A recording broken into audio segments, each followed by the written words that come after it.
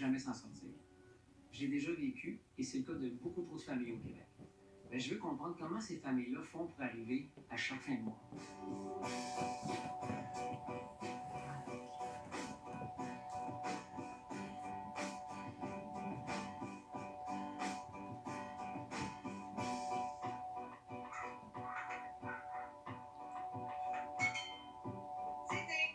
La pauvreté a mille et un visages et les causes sont multiples.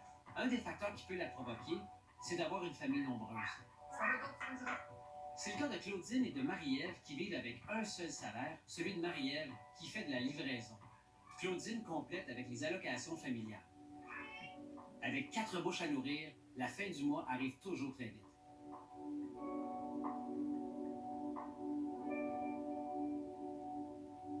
T'es maman, t'as, quoi? Six enfants, et il y en a combien qui vivent ici avec toi? Quatre. À temps plein. Ils sont tous TDAH. Fait que, puis moi, je refusais la médication pour tous les enfants. Le TDAH, je vivais avec, là, je savais. Toi, tu l'es. Moi, je suis Là, t'es en couple avec euh, Marielle. Marie-Ève. Euh, elle n'a pas d'enfant. Non. Mais ta blonde travaille en dehors de la maison. Disais, toi, je comprends que ta job à temps plein, c'est gérer Ah, la maison, la la famille, maison, toutes les la vie. Je pourrais aller travailler, là. OK. pourrais, mais il n'y a aucun gain, sinon ça va être vraiment hors de ça de ce que je fais présentement parce que oui, avec les allocations, j'ai quand même des belles allocations. Mais avant, tu as eu un conjoint avec qui tu as eu tes enfants. Ouais. En fait, c'est géniteur OK. parce que ça se mérite comme ça. Mais euh, ça, je tiens vraiment à préciser parce que Ouais. c'est. Donc, tu reçois pas d'argent, il n'y a pas de Oh, pension alimentaire. non, non, non, non. OK. Non, non, non. non. Mais euh, je voulais même pas ça. Moi, je voulais juste qu'il laisse tranquille. là. Je, je, je suis partie. Je, je, plus rester là. Euh, mais en fait, je pensais jamais être capable de partir de chez nous. OK. Donc, tu as été menacé. Ben, c'est pour ça que je restais, mais euh, je me suis aperçue que ça me tentait pas de vivre toute ma vie. Fait que même si lui dit que j'ai été lâche de partir et de pas essayer, moi j'ai essayé avec trop d'années. Le fait qu'on débarque ici puis qu'on vienne filmer sur ta vie, la vie de ta conjointe, tes enfants, ta réalité, parce que c'est quand même pas facile d'arriver financièrement, comment tu te sens à l'idée de participer à une série sur la, la thématique de la pauvreté, de vivre sous le seuil? Moi, ça me dérange pas parce que euh, moi je suis contente d'avoir trouvé les ressources que j'ai trouvées. Donc, toi, tu as le système D. là. Tu me dis que tu es TDAH, mais avec le D. Le système débrouillard. C'est que tu apprends à, à- à te débrouiller, à, à gérer toutes les ressources qui peuvent vous aider financièrement à avoir une vie. Mais avant de les trouver, il faut être. euh, Malheureusement, il a fallu que, que je dilapide tout ce que j'avais de, de côté ou que je me mette vraiment dans, dans le pétrin euh, avec les comptes. Quand tu n'es plus capable du tout d'acheter de la nourriture, tu essaies de trouver une solution rapide. C'est c'est quoi l'enjeu principal dans ta vie aujourd'hui, Claudine? C'est quoi le défi, là? D'avoir ça plein. Ça étant Quand j'ai congélateur, frigidaire. ça, ça fait chier de trouver ça comme exceptionnel d'avoir le congélateur plein. Hmm. Parce que j'ai pas tout le luxe de le faire. Mais j'ai eu la chance d'avoir un, un super directeur qui a donné mon nom pour un Noël que je m'attendais pas du tout. Mais d'avoir à demander. euh, hein? Ça, j'ai ça demandé. C'est ça, je vais te demander, tu sais. Ça, j'ai ça. de demander, tu sais, banque alimentaire, avoir des vêtements, des, des subventions, des ci, des ça, de demander autour de toi, ça, pas ça. Ben, avec les années, comme là, euh, mes gars, pour vrai, je suis fière de moi, mais je suis fière d'eux autres aussi. De, de, tu sais, moi, de leur avoir montré ça, qu'on n'est pas obligé d'acheter du nœud. Oui, des fois, ça peut. Mais du nœud tout le temps pour avoir du nœud, non.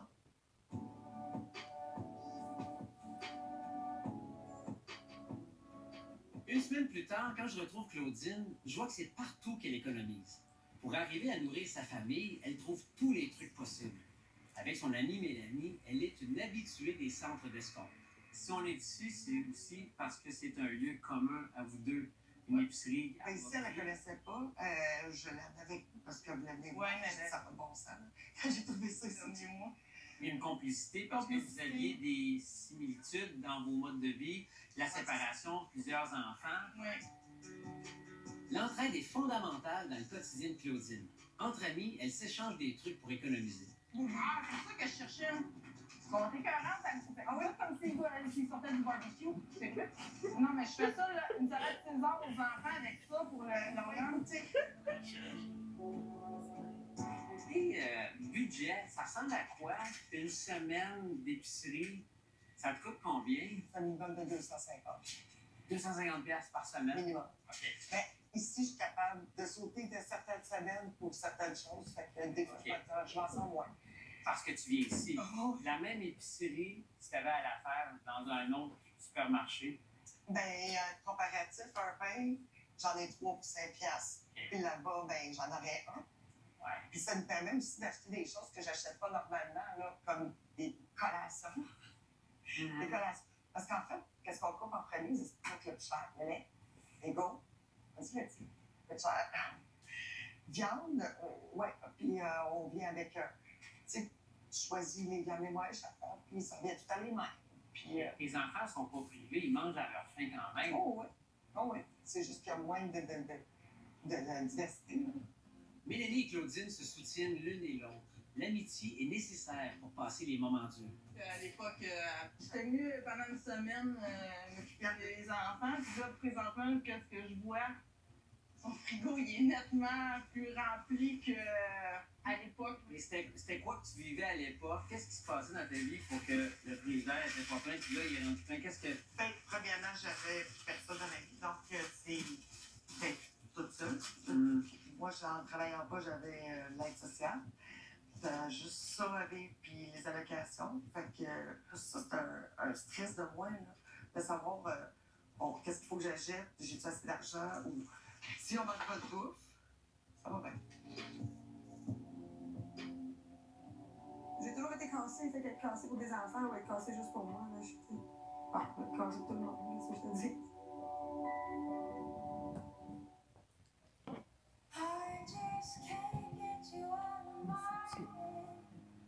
Jour de tournage. euh, ça- Je profite d'une fin de semaine pour revenir voir les filles. Et cette fois, Marie-Ève est en congé, je peux enfin la rencontrer. T'es une fille qui travaille, donc t'amènes un salaire pour aider à toute cette belle gang-là d'améliorer la qualité. Ah, ben oui, parce qu'au lieu de juste survivre, on peut, on peut vivre. Les enfants, ils ne viendront pas d'une famille qui ils ont une mère qui court partout, là, puis qui. Non, non.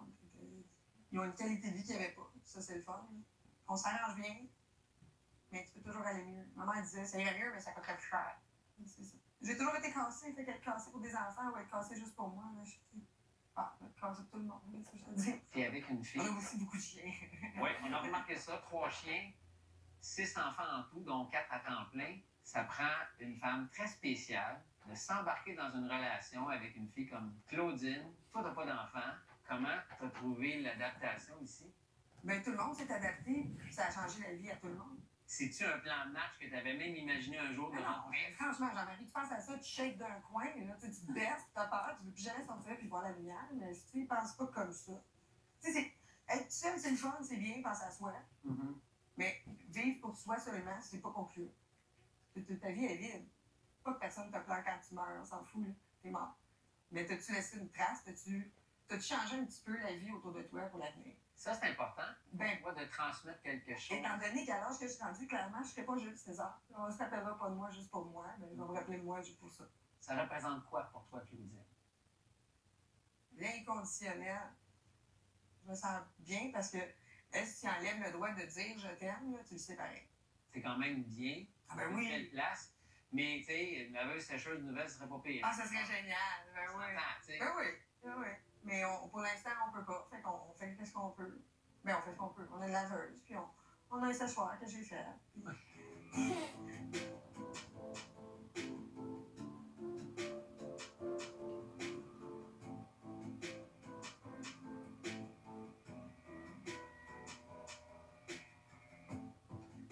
Marie-Ève participe activement à la vie familiale pour économiser un peu partout. Le système D, c'est elle tout craché. Elle sait même recycler les vieux draps. Alors, ce qui saute aux yeux ici, c'est je cherche pas de papier toilette, il n'y en a pas. Non. Il y a une raison. Ma blonde, c'est de sa faute. Pourquoi? Ben, parce que ça me scandalise qu'un enfant, il prenne un, un rouleau de papier de toilette en deux heures. Ça, c'est non. Puis le fait que c'est comme des sacs à poubelle, j'ai toujours trouvé ça bien, bien rochant de dépenser de l'argent pour quelque chose que tu jettes. C'est automatiquement ça que tu fais avec. Mais c'est quand même ingénieux, puis il y a une logique derrière ça. Je le comprends. Ben, c'est plus économique, il y en a tout le temps. Puis elle me disait, mais c'est parce que ça me faisait du lavage de plus. Ça ne tentait pas nécessairement tout le temps. Non, il y a ça, par exemple. De rien, madame. Ça fait combien de temps que vous êtes ici? Deux ans. Deux ans. Et là, encore la pancarte à vendre. Ouais. Donc, ça se peut que ça soit vendu rapidement. Ouais. Là, Nous autres, ça ne stresse pas parce qu'on a encore un an, sérieux. Certain. On est signé jusqu'à juillet de l'année prochaine. Fait que si jamais il veut nous faire partir, il faut qu'il paye pour le déménagement. donc, on est tranquille. On dort tranquille par rapport Ben, à ça. j'aimerais pas ça être obligé de trouver une autre maison Ouais, ou quelque ça. chose parce que c'est pas facile. Vous payez combien par mois ici? 11-25. Pour quasiment une maison. C'est vraiment pas cher. là. Pour la grandeur de la Non, place. non, non, non. c'est- Ben, puis écoute, Non, c'est très grand. là. Mais bref, ça, ça répond à vos besoins, puis ça respecte votre budget. On est correct ici. là. vous- c'est sûr qu'on pourrait payer moins cher, on serait mieux, là. Mais que moi, je veux plus déménager de secteur parce que Ouais. je veux l'école. Où est-ce que je suis là? Ouais, c'est ça qui arrive. On a pogné cette école-là, puis elle est géniale. Il y Ouais. a des parcs partout. C'est... Tu sais, tu regardes de ce côté-là, t'es en campagne, tu regardes là, t'es en ville.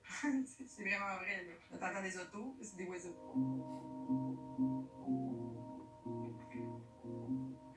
Le mois avance il faut bientôt payer le loyer.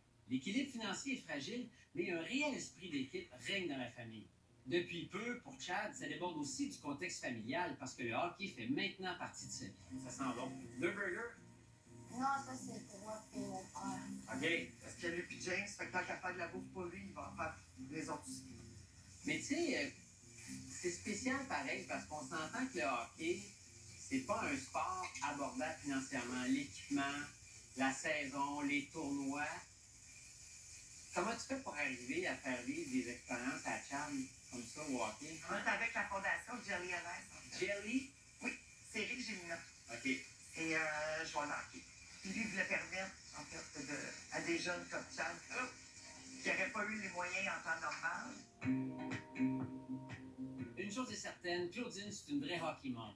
Elle voit à quel point le sport est bénéfique pour ses fils.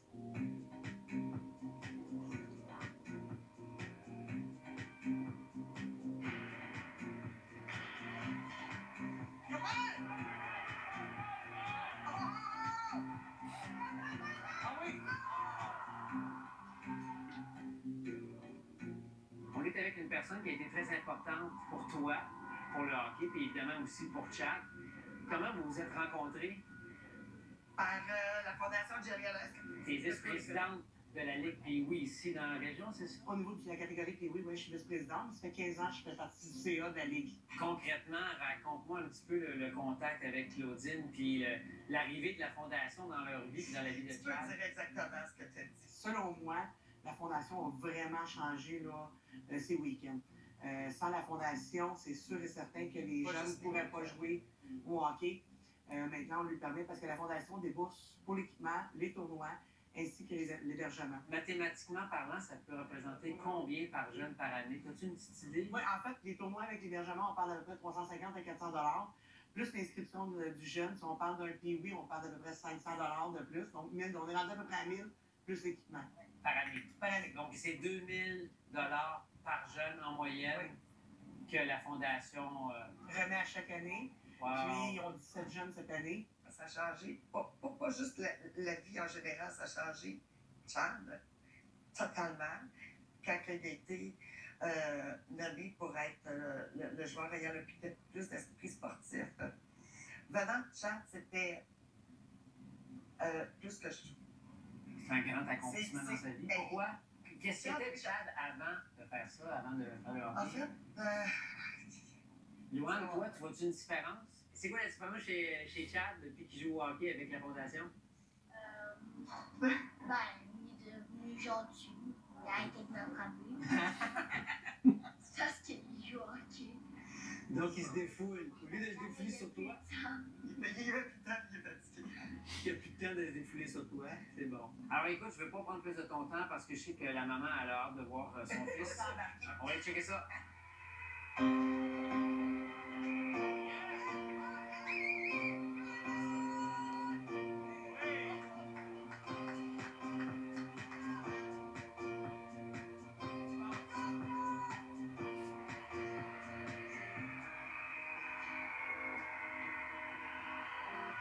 J'ai perdu la job le 21 décembre. Le 21 décembre. Oh, sérieux, c'était pas cool.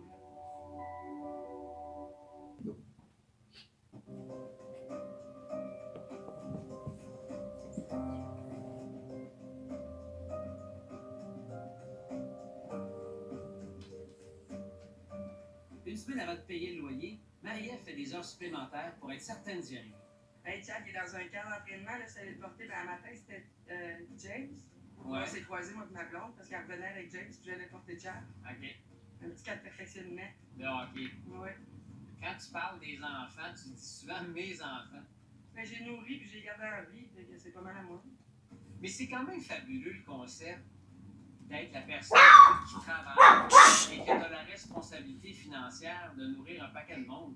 Et ça vient d'où cette espèce de générosité-là, ton, éducation, les valeurs dans lesquelles tu as grandi dans ta famille, ça vient-tu un peu de ça? Ma mère était super généreuse, mais c'est pas la générosité, c'est que j'ai. Moi, j'ai jamais voulu, j'ai jamais été matérialiste. L'argent, ça a toujours juste servi à passer dans mes mains puis à pas rester là. Mais avec des enfants, moi, je faisais 200 pièces par semaine. Si mon loyer était payé, puis que j'avais mangé un peu, il n'y avait pas de problème. Moi, je pensais juste que je n'étais pas motivée, que j'avais pas d'ambition dans la vie. C'est juste que je le faisais pas pour moi, parce que je me contentais de peu. Puis aussi le fait que moi, avec un budget, j'ai pas aucun talent. Comme d'après ce que j'ai pu te dire, tu vois que l'argent n'est pas, euh, pas, bien installé dans mes poches. OK, donc autrement dit, c'est Claudine qui gère Ah ben oui, ben oui, sinon les enfants mangeraient du filet mignon pendant trois jours, puis de la marde pendant le reste du mois, parce que j'ai pas de notion d'argent. Mais t'es pas le genre à t'apitoyer sur toi. Puis c'est là que je trouve que l'humour dont tu nous sais, tu Ah fais ben oui, faut dédramatiser continuellement, tu ris, tu. Il faut, parce que des fois, il y a des choses horribles qui arrivent. Tu peux te mettre en petite boule puis shaker jusqu'à ta mort, ou tu peux passer à d'autres choses. T'acceptes, t'apprends, tu te on. Donc tu serais pas plus heureuse si tu faisais 100 000 ou 200 000 par année? Probablement, oui, parce que j'aurais plus de choses. Non, pas vrai, moins choses. Tu serais confortable Ouais, autrement. confortable autrement. Mais au niveau de ton bonheur actuel dans ta vie, Ah, avec non, non, les enfants, Les choses, ils sont rien. C'est, juste des choses. Les gens, ils, ils possèdent des choses jusqu'à un jour, soudainement, c'est leur chose qu'ils possèdent. tout à fait.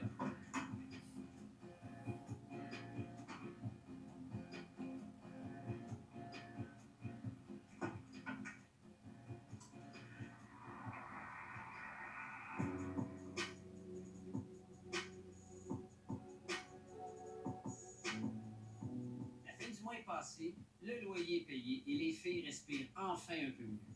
Décris-moi donc ta blonde. Marie-Ève, c'est qui? Quand Mariam est arrivée dans ma vie, là, euh, je me cachais. En fait, elle a fait l'équilibre. Elle a fait le bout que j'étais. Un moment donné, tu t'aimes, tu sais plus comment avancer.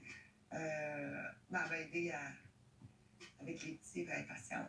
Puis les enfants ils l'ont aidé tout de suite. Euh, Puis là, ça fait combien de temps, là? Trois ans et demi. Presque trois, c'est ça, trois ans et demi? Ouais. Qu'est-ce qui est la priorité, à date, dans ce temps- de ce temps-ci, là? Un jour, ça va être mon lunette. Vous avez aidé les enfants, hein, qui sont toujours à faire. Mais vous avez l'air d'être un bon team. Oui, oui. Qu'est-ce qu'il y a après aux enfants, c'est bon. Euh, le ménage, ces choses-là, elle, c'est la bouffe. Je la sens heureuse de faire ça. Je la sens ça. pas obligée, je la sens pas que c'est une corvée. Je sens que son rôle de deuxième maman, je pense qu'elle y prend beaucoup goût. Elle y Oui. prend un plaisir de le faire.